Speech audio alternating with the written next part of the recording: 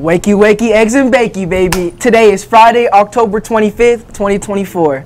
It's time to get ready for tonight's annual Pink Out game. Be sure to pick up your Pink Out bracelet that NHS is selling at all lunches for only a dollar. Stop by their table to get your bracelet for the low price of $1. Wear your bracelet to the senior night Pink Out game tonight. Stop in the Spirit store during lunch or shop online to purchase 2024 Powder Puff shirt. Pre-sale for the Powder Puff shirts are happening now and will continue throughout next Thursday, October 31st. All students, even those not playing, are encouraged to purchase a shirt to show their support of the juniors or the seniors, Who will you support? The seniors in pink? or the juniors in white. Speaking of Powder Puff, game day is quickly approaching.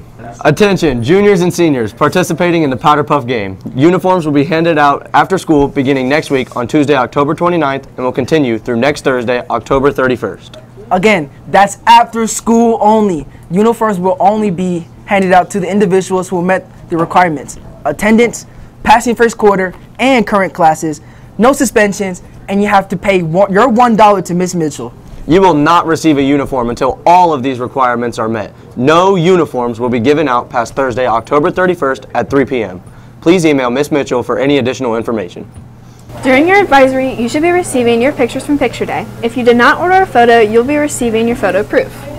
This shows your photo from Picture Day. It's not too late to order your photo. Every proof has a unique passcode on the proof printout where you can order online using the link provided on your proof printout. If you ordered pictures on Picture Day, you should receive those during your advisory. If you do not like your proof picture or do not like your printed picture, you can retake it on Picture Retake Day. Retakes will be Wednesday, November 13th. If you ordered photos, you must return the entire package and include a $5 retake fee.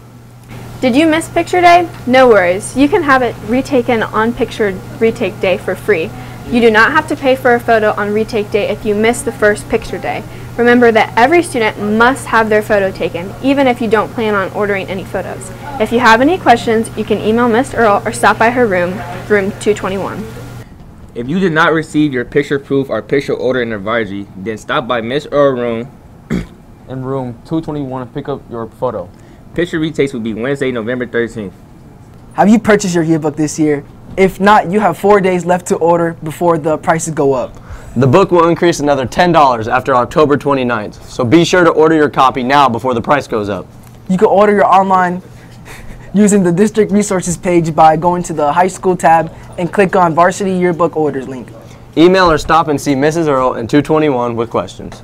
The fall play production of Bacon, Eggs, and Murder is this weekend. Get, Get your, your- tickets during lunch. The play is this Saturday at 7 p.m. Doors open at 6.30 and this Sunday at 2 p.m. Doors open at 1.30.